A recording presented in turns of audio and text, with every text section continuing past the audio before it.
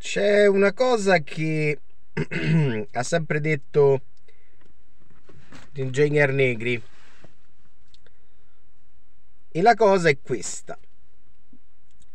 Tutti i delinquenti che non pagano per le illegalità che svolgono, prima o poi ci riproveranno.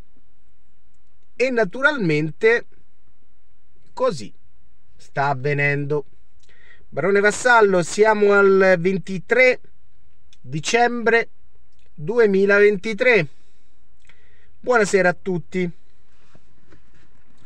Allora, ieri ho fatto un video sul signor Guido Giustetto. Per chi volesse andare a vedere le sue parole proprio dette, lo trova su questo link di YouTube. E vi, vi assicuro che è importantissimo le- ascoltarlo perché può sembrare uno scherzo come vi ho detto ieri ma non lo è per nulla. In quell'intervista appunto Giustetto diceva che dobbiamo piantarla di fare degli esami del sangue inutili, eh, degli screening eh, più di tot volte perché stiamo inquinando l'ambiente. Ricordava il fatto che una macchina per le TAC in un anno produce la stessa CO2 di 700.000 km fatti in macchina.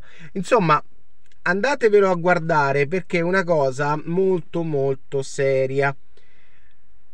Sono dei piccoli segnali, sono delle piccole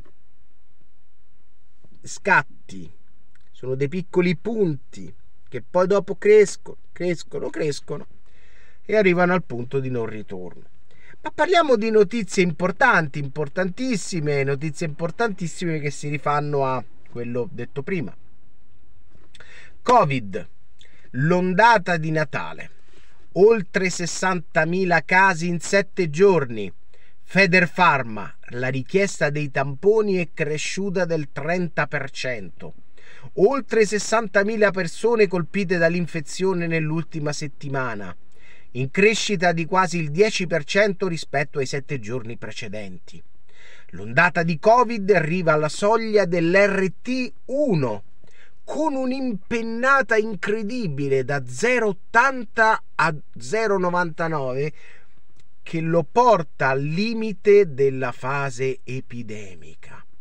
Come registrato dall'ultimo monitoraggio del Ministero della Salute, insieme all'Istituto Superiore di Sanità, quindi dal rapporto non emergono elementi di preoccupazione per quanto riguarda i ricoveri. È stabile il tasso di occupazione dei posti letto in area medica, 11,8 rispetto a 11,9 della settimana precedente. Mentre cresce leggermente l'occupazione dei posti letto in terapia intensiva, siamo passati dal 3,1 rispetto al 2,7, naturalmente riferito ad una settimana fa. Nell'ultima settimana si conferma che la fascia di età che registra il più alto tasso di incidenza settimanale è quella degli ultra novantenni.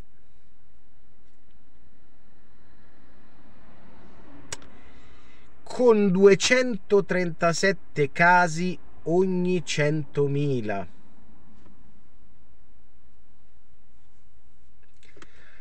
Questa fascia di età è anche quella con il più alto tasso di ricoveri e la più alta mortalità. Ultra novantenni naturalmente avrebbero davanti a sé altri 30-40 anni di vita, quindi è un, uh, è un dato molto preoccupante. Tra le varianti è in forte crescita la JN1 Sembra un po' i motori Land Rover 12J, 19J, 200 TDI. Designata come variante di interesse dall'OMS per i giorni scorsi. Nell'ultima settimana è diventata la variante dominante, superando la EG.5. Questa probabilmente è la targa di una macchina del 2011. È del 49,1% rispetto al 20,9% della settimana precedente. Anche se l'incidenza dei casi risulta in aumento in quasi tutte le regioni, resta una forte variabilità geografica. L'incidenza più elevata è stata riportata in Abruzzo. Ricordiamoci che l'Abruzzo è la regione che ha fatto meno vaccini in assoluto. 224 casi per 100.000 abitanti. Seguita dal Veneto e dall'Umbria. Strano perché in Veneto hanno dei vaccini molto efficaci distillati con l'alambicco. La più bassa in Sicilia, 3 casi per 100.000 abitanti, seguita da Sardegna 18 e Basilicata. L'ondata partita a metà novembre ha avuto ripercussioni anche sulle farmacie. Non siamo ai livelli degli anni passati, ma c'è stato un incremento dei tamponi del 30%, soprattutto sono stati richiesti con numeri abbastanza elevanti i test fai da te. C'è lavoro sull'influenza come è normale che sia in questo momento della stagione, spiega Marco Cossolo, presidente di Federfarma.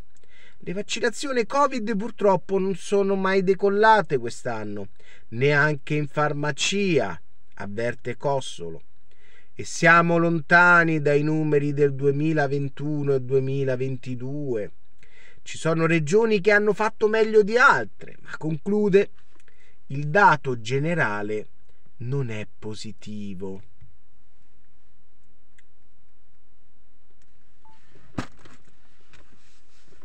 Bene, dovevo riportarvi questa notizia. Naturalmente la riporto in maniera settica, lasciando a voi l'opzione la facoltà di commentare qui sotto nel video dirmi cosa ne pensate perché tra l'altro in giro vedo anche tantissimi ormai di nuovo con gli elementi di protezione e volevo giusto chiedervi a voi se siete preoccupati di questa cosa o se non lo siete. Intendo, se siete preoccupati del fatto